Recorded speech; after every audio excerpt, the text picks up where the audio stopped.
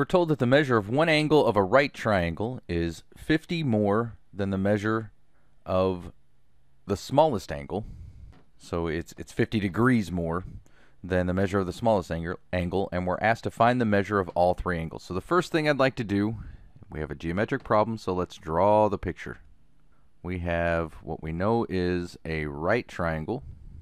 So we know that this is a right angle, so this is going to be 90 degrees. Now let's write this in terms of, let's call one of the measures A.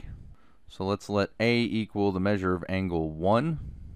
And then we're told that the other angle, besides the 90 degree angle, is 50 more than the measure of the smallest angle. So A is the smallest angle. So A plus 50 equals the measure of angle 2. And we know 90 degrees is the measure of angle 3. So in our diagram, let's call this 1, we'll call this 2, and we'll call this 3. So this is A, and the measure of this angle is going to be A plus 50. Now how does this all relate? We know that the measure of angle 1 plus the measure of angle 2 plus the measure of angle 3 equals 180 degrees. Now we simply substitute and then and then solve and then back substitute to find the measure of the other angle. So measure of angle 1 we know is A. Measure of angle 2 is A plus 50. And then the measure of angle 3, since it's a right triangle, is 90. We know that equals 180.